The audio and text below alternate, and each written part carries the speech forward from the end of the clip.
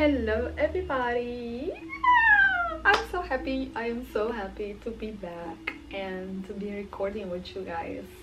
I feel like i i think i haven't recorded for like three to four months because i do batch content and um I've been busy with school. I had to do batch content because I knew I was going to be busy with school, so I couldn't be recording while working on school projects and um, it's been a long time since I've been in front of the camera and talking with you guys. So I am so excited to be back. And as you guys know my ebook has been officially launched in the month of November. I'm so excited about my ebook my precious ebook. And in this ebook is um, now available on Tea with Vi and um, I am so fucking excited. It's part of this series actually. Um, everything that I'm going to be talking about in this series I've talked about in this ebook in a more deeply way and I've put all the journal prompts that helped me during this celibacy journey. So yes guys my ebook is officially available. I also have a discount code. It's subscribers for l. It's right here. This is my gift for you guys. I am so so so so excited about this ebook. I've i've channeled this ebook. I written it once. Then i reread it and did some autocorrect add some things after I sent it to my mentor my amazing mentor Dash and also to other people at school mentors and tutors that are um, helping me with writing. So it was just quite fascinating because it's uh, like I know it's not a book it's just an ebook of like less than it's just an ebook but for me it's like I don't know, it's so special. It's so important because it's part of my journey. It's all of the things that I did during this 40 year that, you know, I have been practicing. So, I don't know, it's so it's so important to me. So, in this series, in this part 4 of this series, we're going to talk about year 2021. So, in the first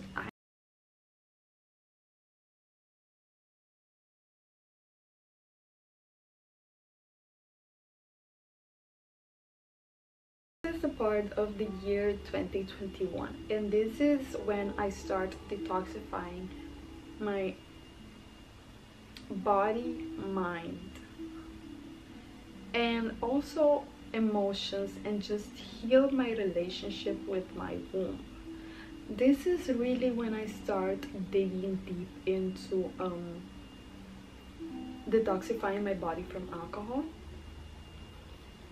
really start with womb work and trying to um, I started journaling on the men that I had relationships with and the men that um, I had emotional attachments and all these suppressed emotions.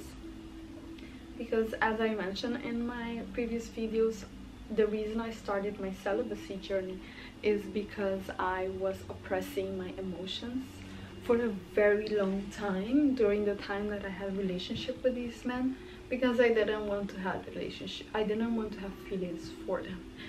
And my way to avoid it was to suppressing my emotion denying what I felt. And of course that suppression of emotion led to um, addictive pattern with behavior which started with um, alcohol.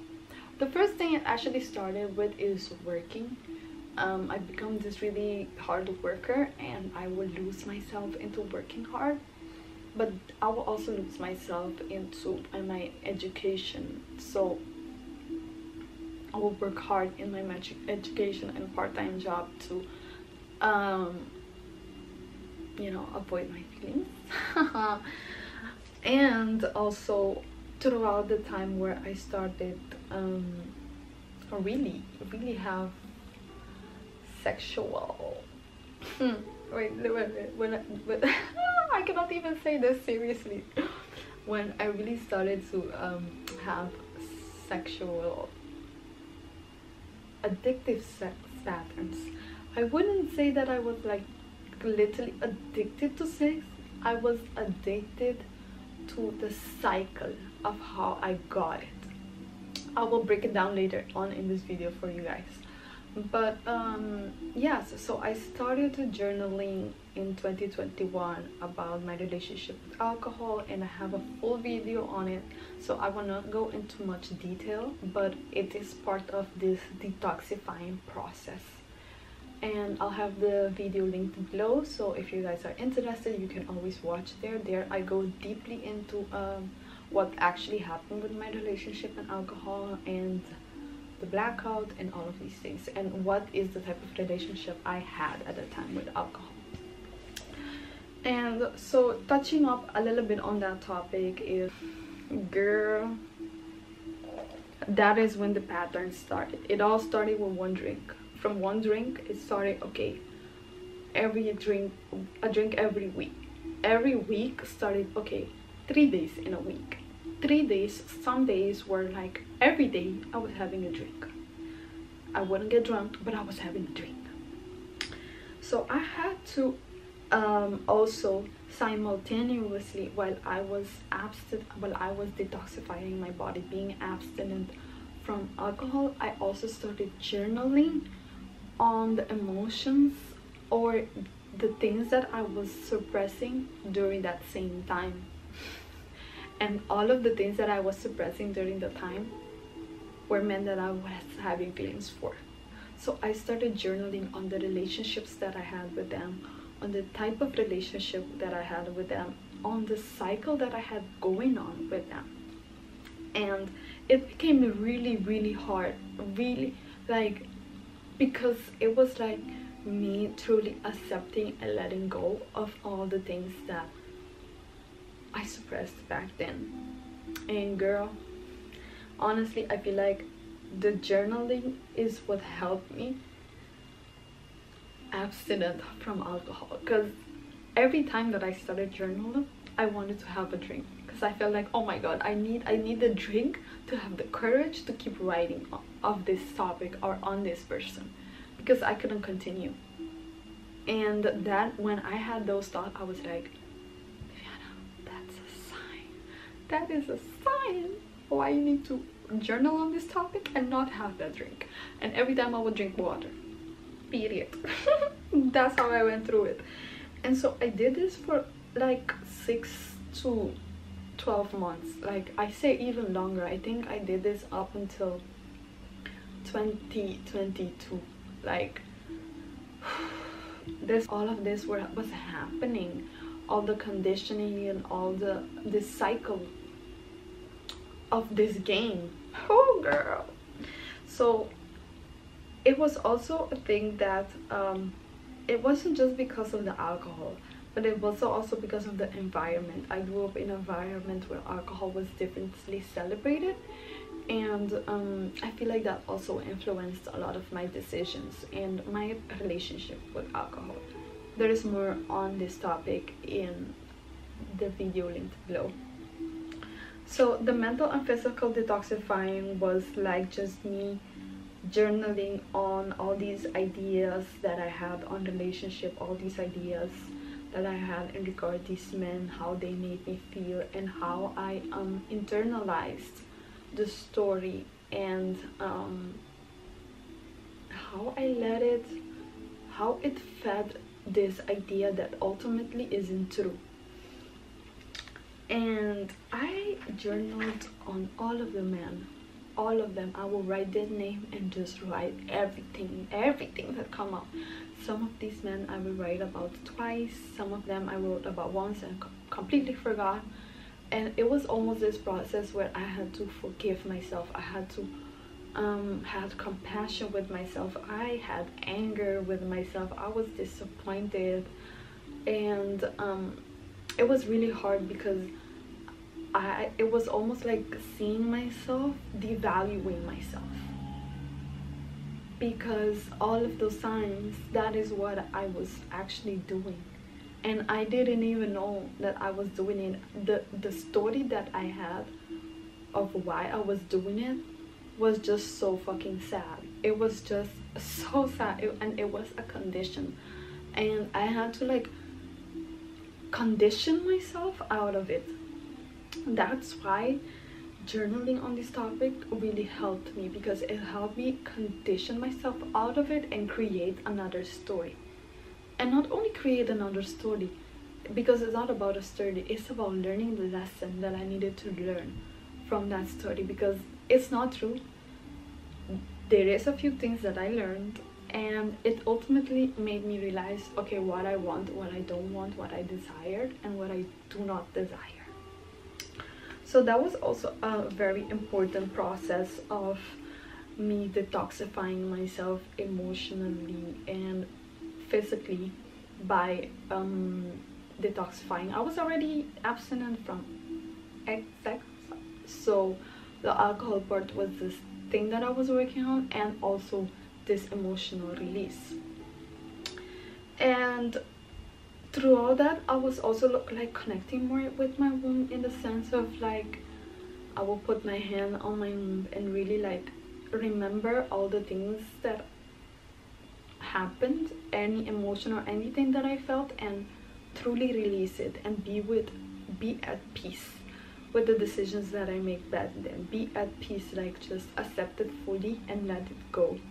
Don't like it's not a when you when I was doing this I wasn't judging myself. I wasn't blaming myself. I was just being okay that it is what it is and it's not going to be this anymore.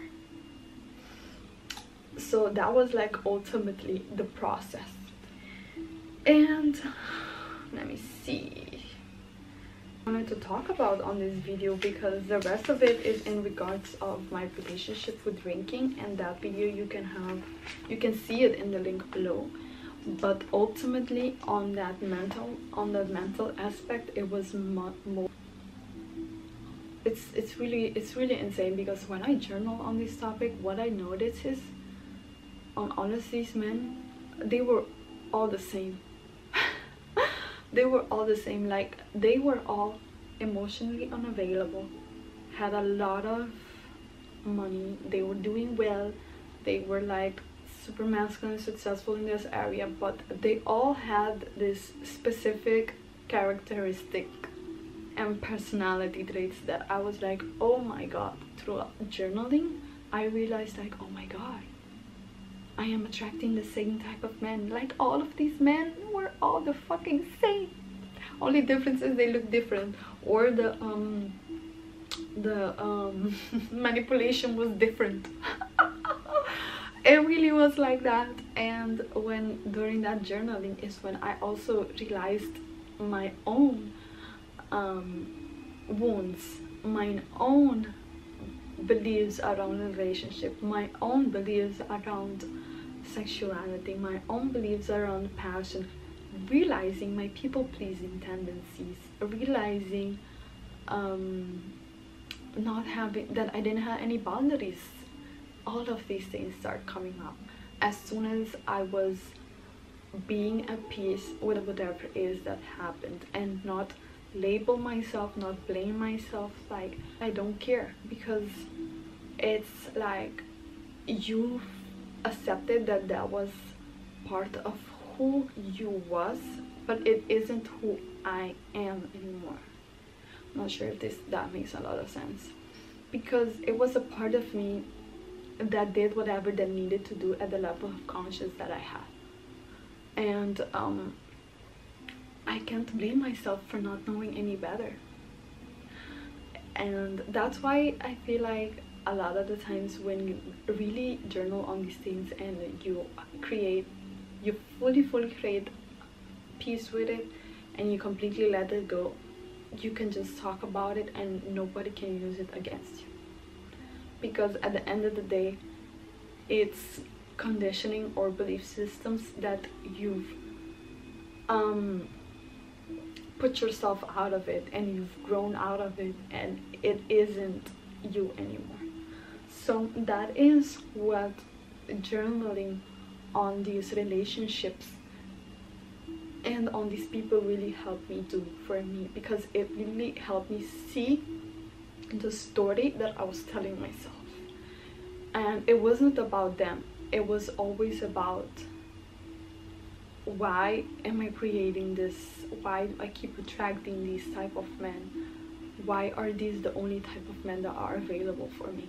But it was because I had this specific glass on that this was my only view. So by journaling and by fully accept and releasing this emotion i like remove the glass and see everything for what it actually is and could have changed my view now because i accepted i allowed it and i released it and i made peace with it so that was like my year 2021 detoxifying. Um, the alcohol thing was the thing that was deep deep for me but also relationship with these men. Like i journal so much on these men. Oh yeah. I can make a another video in this regard but i'm not gonna bore you guys without information because at the end of the day it's about what i've learned from that and that is what i want to share with you guys but you guys can also learn from your own relationship just by journaling with yourself on these topics. And as soon as you come to the some type of conclusion or some type of anything why? And start over again go deeper. Because the deeper you go the more you can remove these layers and get to the core and just create a new just create a new story for yourself. And um, create like you've gained this knowledge that now you can use to make different choices. And that is what it is all about. So i hope you guys enjoyed this video. And if you're more interested on some of these journal prompts that really helped me they're available on my ebook that is also available on teawithvi.store and if you do purchase it don't forget to use the discount code subscriber for L and I'll see you guys in my next video. Ciao!